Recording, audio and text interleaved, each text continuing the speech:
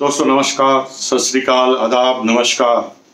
दोस्तों, अनसुने किस्से का आज हम पांचवा एपिसोड लेकर आ रहे हैं और इन एपिसोडों के माध्यम से हम जान रहे हैं कि किस तरह से कंपनी की शुरुआत हुई, कैसे नामांकन हुआ, किस तरह से पहली बार सॉफ्टवेयर बना और किस तरह से लेग सेटिंग हुई और कंपनी का बिज़नेस कैसे चालू हुआ, फॉर्म कैसे बना। और साथ में हमने ये भी जाना कि फॉर्म को किस तरह डिस्ट्रीब्यूट किया गया और किस तरह से जो पहली बार जो बिज़नेस किट होती थी, उसको हम किस तरह से लोगों तक पहुंचाते थे आरडी सिस्टम के माध्यम से। दोस्तों, अनसुने के इसके एपिसोड को आप पूरा देखिए, अंत तक देखिए, क्योंकि इतिहास से बहुत सीख मिलती है और आप कंक्लूड निकाल के बताइए कि आप इस एपिसोड से, इस इतिहास से आप क्या सीखने वाले हैं। क्योंकि दोस्तों, इतिहास जो है हमें आने वाले वक्त के अंदर ये मौका देता है कि हम किस तरह से आने वाले समय में जो परिस्थिति आएगी, उस पर वक्त में किस तरह से हम निर्णय लें और इस निर्णय की वजह से आप बहुत कुछ सीख पाएँगे। दोस्तों, आप इस यूट्यूब चैनल को सब्सक्राइब कीजिए, शेयर कीजिए, बेल आइकन पर बटन दबाइए ताकि आपको नोटिफिकेशन मिलता रहे, जो ही नया वीडियो डाउनलोड हो। और साथ में आप अपनी टीम को भी इससे शेयर कीजिए, क्योंकि इतिहास अगर वो जानेंगे तो उनको आने वाले समय में बहुत सारे निर्णय लेने में सुविधा होगी।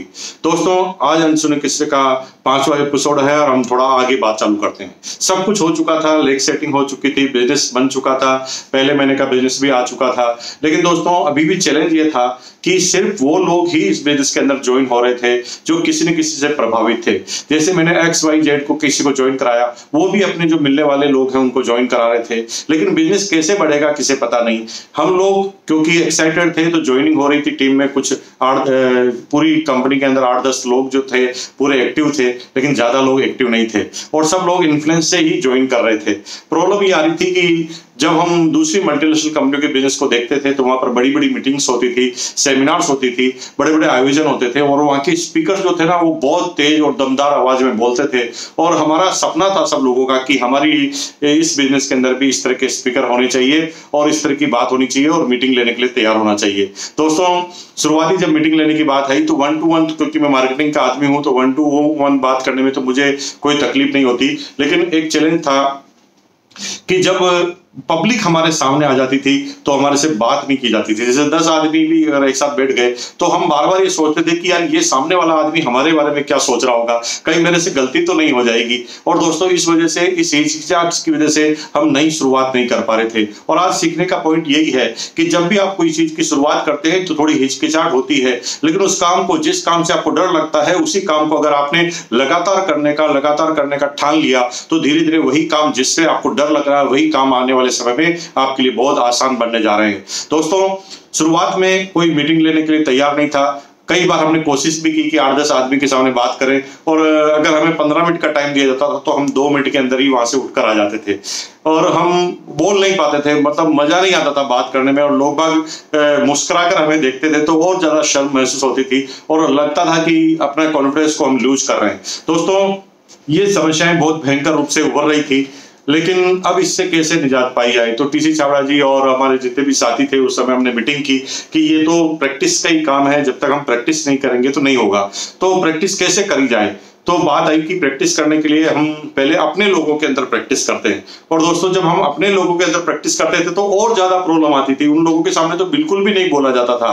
और उस समय हमने रोज रोज सुबह दस बजे से लगाकर बारह बजे तक क्लास लगाई थी जिसके अंदर हम जो पंद्रह बीस लोग थे सब लोग एक दूसरे को बुलाते थे और उसे बोलने के लिए कहा जाता था। और मज़े की बात है कि बीस आदमी में से एक भी सिंगल आदमी ऐसा नहीं था जो पूरी बात को अपनी रख पाता था और वो थोड़ी देर में ही पसीना पसीना हो जाता था बात आगे नहीं बढ़ती थी। और हमने लगभग पंद्रह बीस दिन तक ऐसी क्लास अटेंड की। Uh, कुछ भी रिज़ल्ट नहीं आया। मुझे वो दिन अच्छी तरह याद है जब टीसी छावड़ा जी बेरुदान जी करवा और मैं और तीन चार और डिस्ट्रीब्यूटर थे, उन सब लोग मिलकर हमने अजमेर में कुछ साथी थे जो उनको हमें बिज़नेस प्लान बताना था तो हमने अजमेर में मीटिंग को ऑर्गेनाइज कर दिया। होटल बुक कर ली, होटल का हॉल बुक हो गया, वहाँ पर 20-25 आदमी भी आ गए। अब जब हमारी बात आई तो मुझे जिस कहने, बात कहने के लिए बुलाया गया था, मैं अपनी बात को पूरी नहीं कर पाया। मुझे लगा कि अब मैं इस बात को बीच में कैसे छोड़ूं?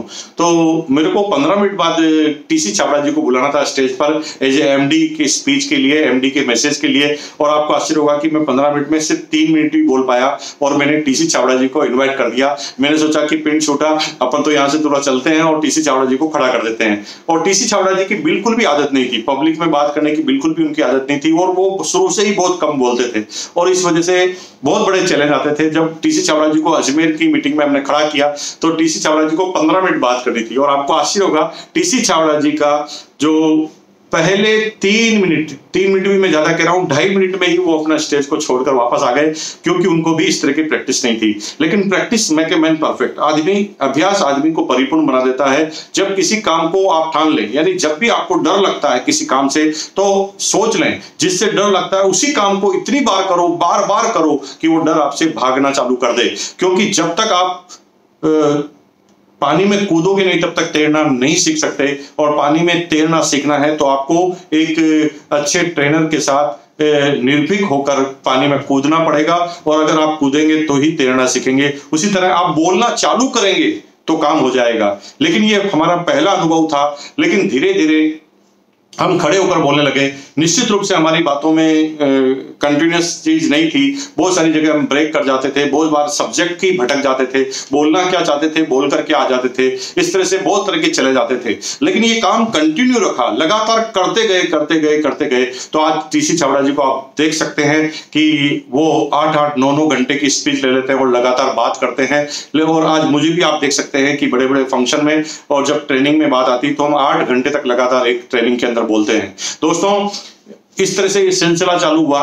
तभी बीसी छावड़ा जी, जो किसी एक मल्टीनेशनल कंपनी के अंदर काम करते थे, उन्होंने मॉरली हमें सपोर्ट देना चालू किया। वो हमारी क्लास लेने आते थे और हमारे छोटी छोटी मीटिंग्स का काम करते थे। और मैं बहुत सौभाग्यशाली हूँ कि मेरी अपलाइन में बीसी छावड़ा जी हैं। और बीसी छावड़ा जी का ये जो काम है, ज़िंदगी भर याद रखा जाएगा।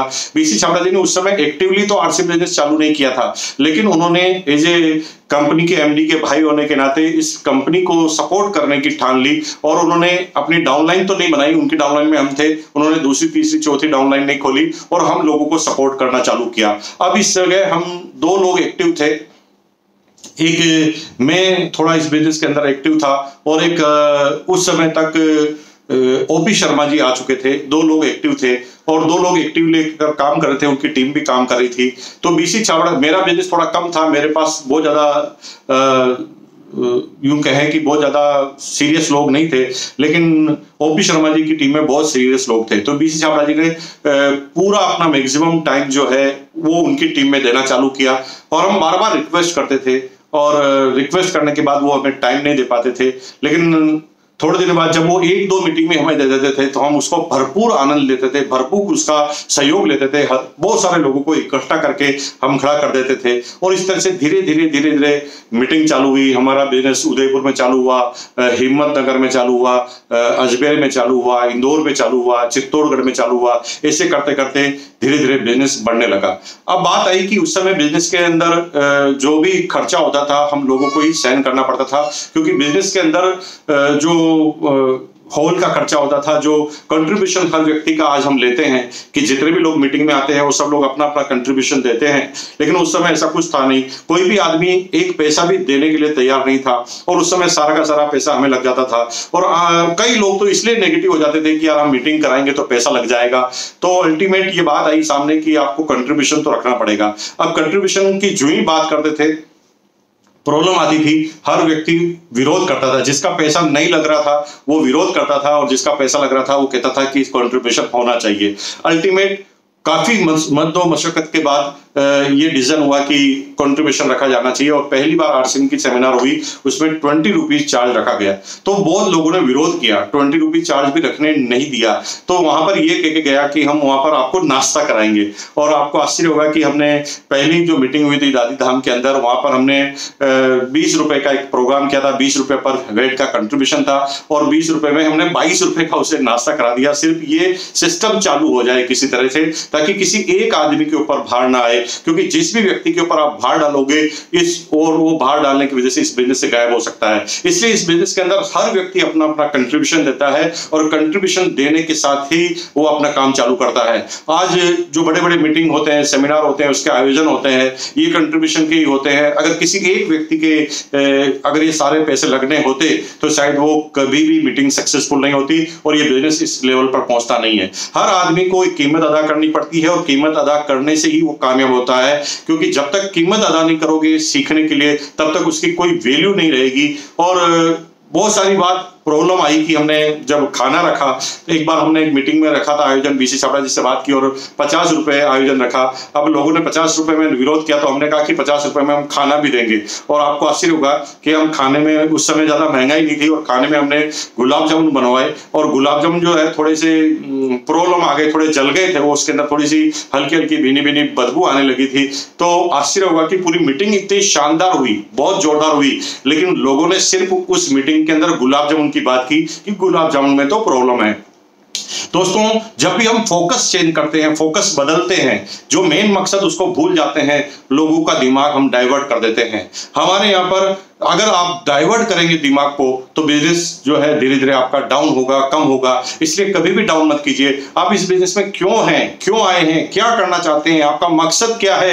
क्यों मीटिंग कर रहे हैं? क्यों सेमिनार कर रहे हैं? ये मकसद अगर आपका क्लियर रहेगा तो प्रॉब्लम आपको कम से कम होने वाली है। इसलिए कभी भी इस तरह का काम आप ना करें। हमेशा सीधा सीधा आपका मकसद का ध्यान रखते हुए इस बिज़नेस के बारे में आप बताएँ। इस तरह के बहुत सारे चैलेंज हमें शुरुआती रूप में इस बिज़नेस के अंदर आते थे। आने वाले समय में जैसे जैसे वक्त बढ़ रहा था अलग अलग तरह के चैलेंज आ रहे थे। अगले एपिसोड में हम आने वाले समय में क्या चैलेंज आते थे, उसके बारे में बात करेंगे।